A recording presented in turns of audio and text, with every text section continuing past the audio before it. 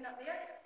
Um, I've been working with the group, they've been doing ballet, contemporary, jazz and street dance and produced two fantastic pieces that we're going to see eh, today. Um, first piece is going to be is a contemporary piece, so it's 10 minutes long, it's split into three sections just to warn you, um, because if people were sort of clapping in between and did it earlier. So it's 10 minutes long, very quickly you guys can get changed and then we'll have